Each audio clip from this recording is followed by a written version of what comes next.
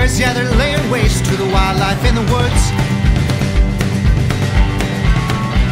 With rows of teeth, they'll tin and tear at the shade given to us by God. Yeah, nonetheless, my best guess is that the honest ones will triumph in his war. Reading up on books with pages, I don't think that I